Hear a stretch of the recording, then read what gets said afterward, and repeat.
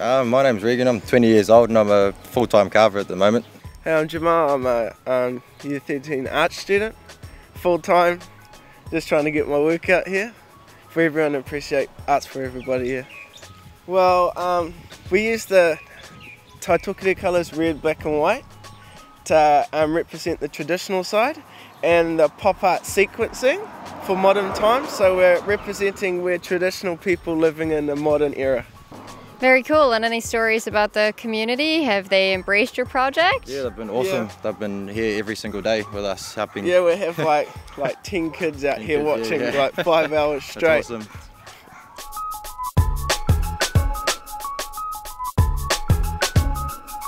My inspiration for this uh, mural is um, summer and um, just relaxed um, holidays. Inspiration was actually from a photo of a friend of mine, so um, that's it really. So I had um, lots of people tooting at me and waving, and um, a couple of people coming up and saying they loved it, which was really lovely and encouraging. Um, I also had a man come up and ask me, did I have permission to do this? Um, and a lovely lady and her daughter came down and offered me some biscuits. So all in all, pretty good. Um, it's based around people, yeah. As individuals, we make um, choices every day, and whatever choice we make um, has an impact on ourselves, on the community, on the country, and on the planet.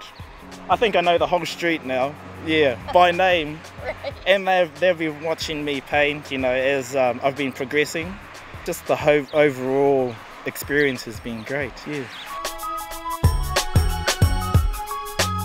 Well, I live in Ngunguru and I travel every day by car through a lovely landscape with lots of stone walls and uh, um, that inspired me really. As you can hear, there's lots of traffic here and there was always someone tooting or waving uh, I've been uh, given boxes with chocolates and photo. People stop the car and take photos, and that's been wonderful. Yeah.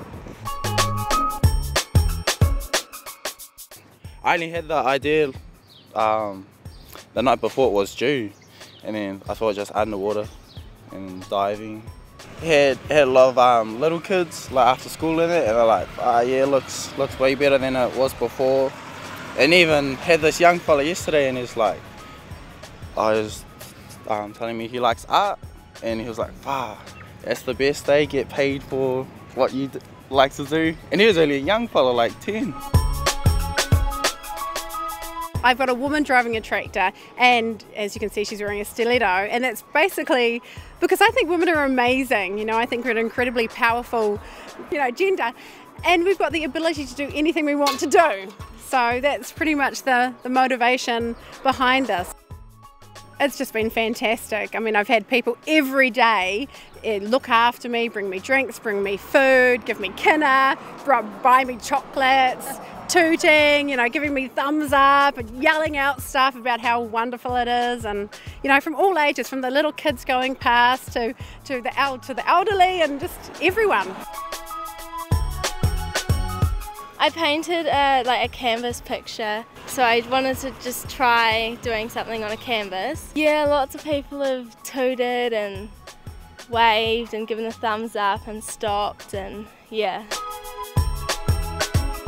The place where I come from is where Leonardo, Leonardo da Vinci spent the last four years of his life and um, he left a big imprint in our area because he died there. Um, so, and the Mona Lisa obviously is like the most famous painting in the world, so I thought it was quite a, an easy one to recognize from anywhere in the world. Um, and some kids were really, really lovely, like, oh, are we, are we, you need to, you really need to focus hard. Are we, do you want us to stop talking with you? Because it's really hard what you're doing. They were so cute. Um, we decided to do a taniwha and the background's blue to represent Northland. Heaps of people have liked watching us do this, and yeah. I just wanted to do something that was a little bit quirky about this town, and uh, one of the things I found was that Bream Bay was actually misnamed by Captain Cook. Yeah, continuous tooting, people coming past, uh, lots of people yelling out, and uh, even people asking for directions to ask where the warehouse is. The name of Whangarei means the gathering place of chiefs. And so you see the huia feathers in their heads there. And um, they, they're the feathers that the chiefs would wear back in the Māori days, back, you know, a while back. and, um, and the people's heads are the people of Whangarei. And uh, I did the piece to sort of project a message that's saying that um, this is a place where greatness can thrive and live